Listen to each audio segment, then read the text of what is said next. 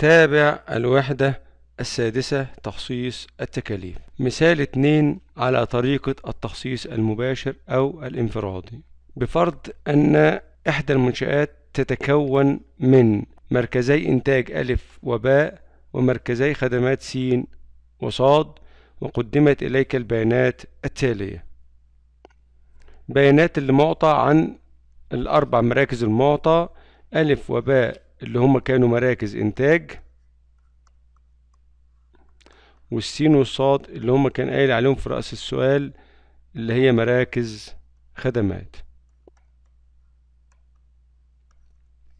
أعطيني التكاليف الغير مباشرة الخاصة بكل مركز. ألف أربعة وعشرين ألف باء ستاشر ألف سين تسعة آلاف صاد أربعة آلاف.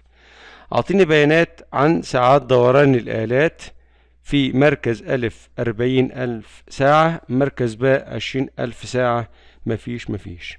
ساعات العمل المباشر في مركز الإنتاج ألف تلاتين ألف ساعة وباء عشرين ألف ساعة.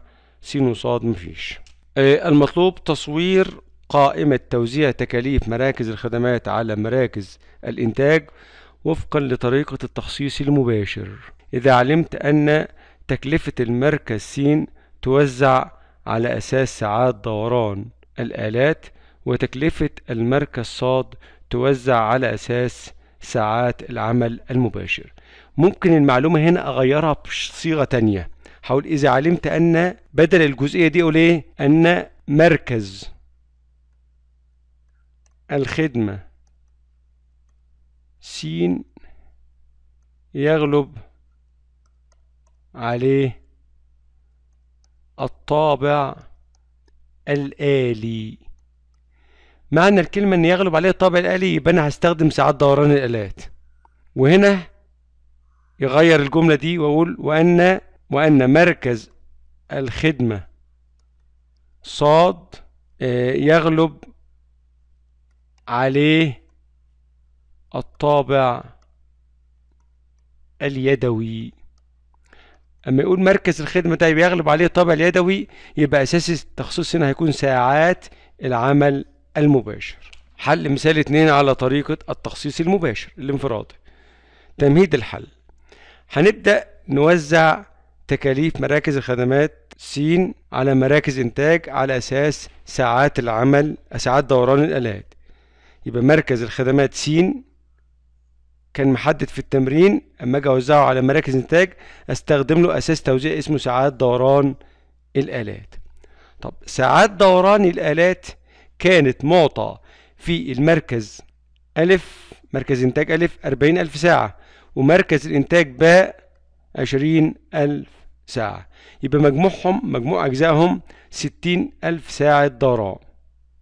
وكان عندي التكاليف اللي أنا عايز أوزعها لو رجعنا لرأس السؤال كان تكلفة مركز الخدمة س اللي أنا عايز أوزعها كانوا التسع تلاف. دي هيبقى توزيع التكاليف مركز الخدمات س اللي هو تسعة تلاف. تسعة آلاف ريال ده معطى. وجمعنا ساعات دوران آلات ستين ألف ساعة.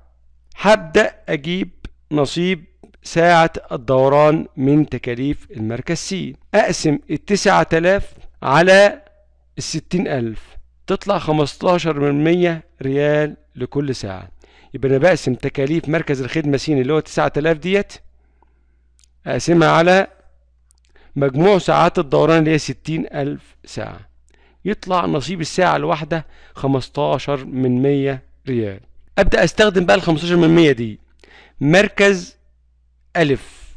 كان ساعات دورانه كام؟ أربعين. ونصيب الساعة بخمستاشر من مية. يبقى نصيب المركز ألف من تكاليف المركز س أخد الأربعين ألف وأضربها في الخمستاشر من مية. تطلع ستة آلاف ريال. نصيب المركز باء من تكاليف المركز س المركز باء كان فيه عشرين ألف ساعة دوران. والساعة كان نصيبها خمستاشر من مية. يبقى عشرين ألف خمستاشر من مية تطلع تلات آلاف ريال. يبقى كده خدنا مركز الخدمة س لوحده بالأساس المناسب له اللي هو ساعات دوران الآلات ووزعناه على ألف وباء. نكرر نفس الكلام ده وإحنا بنوزع تكاليف مركز الخدمات صاد على مراكز الإنتاج. هنا هيكون على أساس ساعات العمل المباشر. ده أساس التوزيع المناسب هنا. أساس التوزيع المناسب هنا لمركز الخدمة س كان ساعات العمل المباشر. هجيب ساعات العمل المباشر. في مركز إنتاج ألف كانت معطى بتلاتين ألف ومركز الإنتاج باء كانت معطى بعشرين ألف. يبقى مجموعهم مجموع أجزائهم خمسين ألف ساعة عمل مباشر. أنا لو رجعت لرأس السؤال كان تكلفة مركز الخدمات صاد كانت معطى بأربعة آلاف ريال.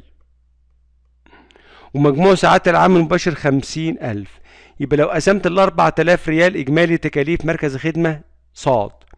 لو قسمتها على مجموع الأجزاء مجموع ساعات العمل المباشر يطلع لي نصيب ساعة العمل المباشر. نصيب ساعة العمل المباشر من تكاليف المركز صاد بقسم الأربعة آلاف ريال على الخمسين ألف ساعة. يطلع تمانية من مية ريال لكل ساعة عمل مباشر. أشوف نصيب المركز ألف من تكاليف المركز صاد ألف. كنا اشتغلنا فيه كام ساعة عمل مباشر؟ تلاتين ألف. والساعة كانت بتمانية من مية.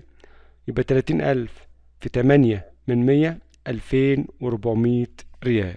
نصيب المركز باء من تكاليف المركز صاد كان ساعات العمل المباشر في باء العشرين ألف ساعة والساعة كانت بتمانية من مية تطلع ألف وستمية ريال.